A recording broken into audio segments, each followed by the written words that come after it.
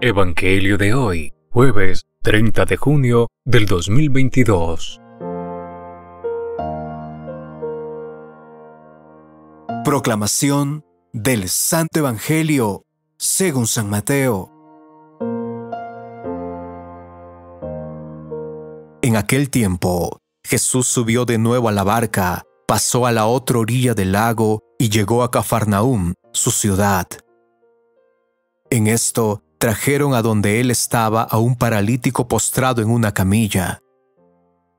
Viendo Jesús la fe de aquellos hombres, le dijo al paralítico, Ten confianza, hijo, se te perdonan tus pecados. Al oír esto, algunos escribas pensaron, Este hombre está blasfemando.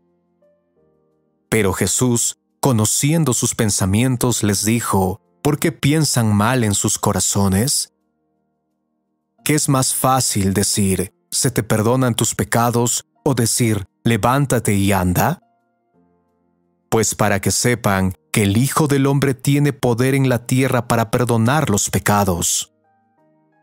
Le dijo entonces al paralítico, levántate, toma tu camilla y vete a tu casa. Él se levantó y se fue a su casa. Al ver esto, la gente se llenó de temor y glorificó a Dios que había dado tanto poder a los hombres. Palabra del Señor, gloria a ti, Señor Jesús.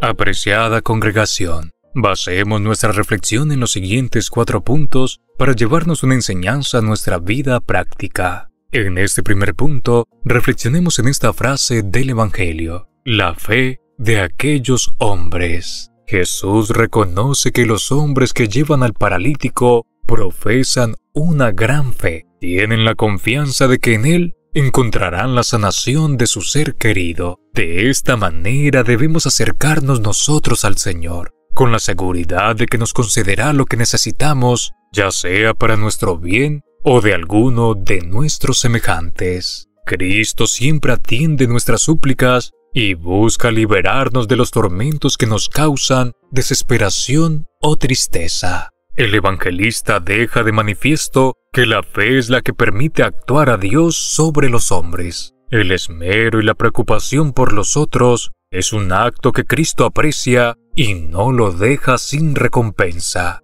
Es bueno resaltar el trabajo de muchas personas que se esfuerzan por ayudar a los demás, aquellos que cuidan los enfermos, el hijo o la hija que se desvive por sus padres ancianos, hombres y mujeres que sacrifican muchas veces sus propias vidas para dedicarse al cuidado de sus seres queridos. Todo acto de bondad es contado como riqueza celestial. Entre más obras de caridad hagamos de corazón, más grande será nuestro tesoro acumulado. No dejemos de hacer por los demás lo que consideremos necesario, sin fijarnos en lo que digan los demás, mucho menos en que no tendrán cómo pagarnos el favor. Lo importante es servir, es ser oportunos con nuestra ayuda, fijando nuestra mirada siempre al cielo. En este segundo punto, reflexionemos en esta frase del Evangelio se te perdonan tus pecados. Es posible que el paralítico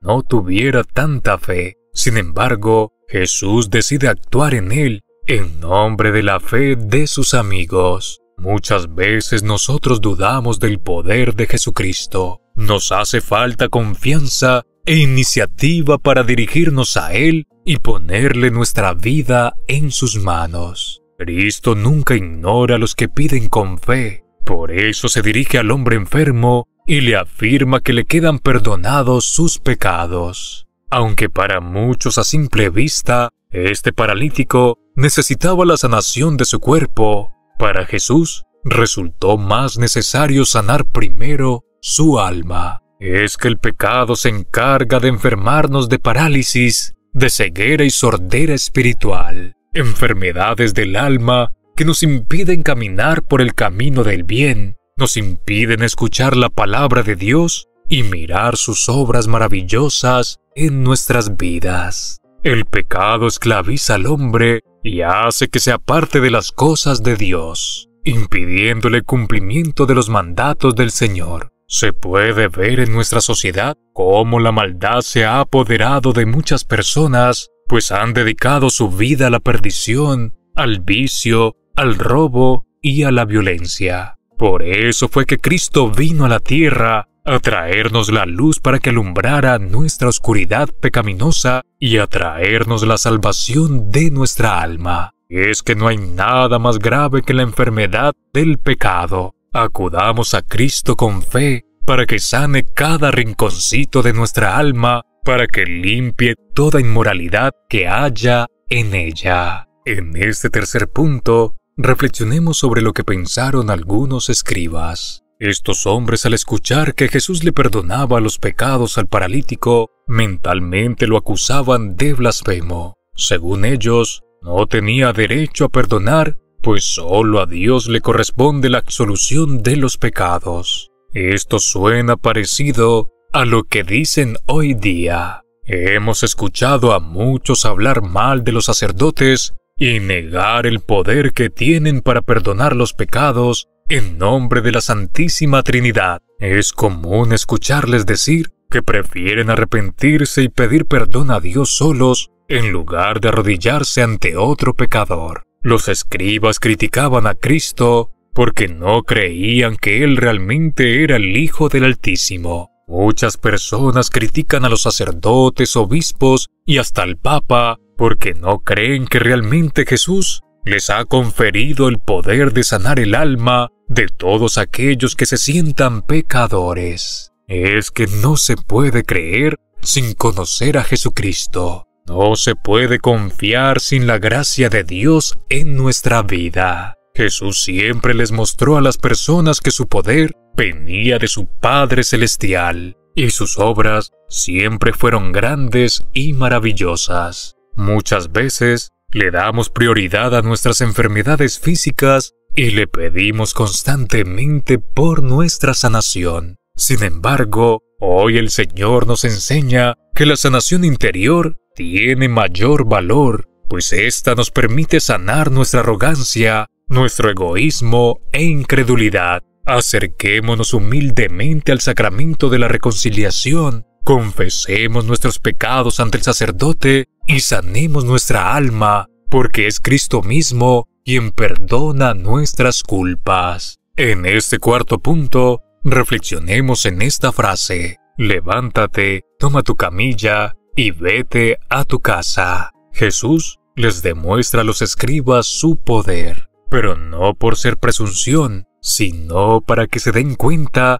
que para el Hijo de Dios no hay nada imposible. Por eso luego de perdonar los pecados del paralítico, lo envía caminando a su casa. Él tiene el poder en la tierra y en el cielo. Puede traer a nuestra vida lluvia de bendiciones si así se lo pedimos. Nada más démonos cuenta que aún con nuestra infidelidad nos demuestra su amor. ¿Qué será si le correspondemos como fieles discípulos? El hombre con parálisis no era muy creyente. Sin embargo, Cristo le sanó el alma y el cuerpo. Es posible que no nos alcancemos a imaginar el gozo de este hombre al verse caminando y con su interior lleno de paz, ni decir la alegría de sus amigos al verlo con la camilla al costado después de haber estado en ella por muchos años. El Señor Jesús nunca desaprovechó la oportunidad de glorificar a su Padre Dios con sus obras. Sería bueno que nosotros también hiciéramos lo mismo. Lo honráramos con nuestra caridad,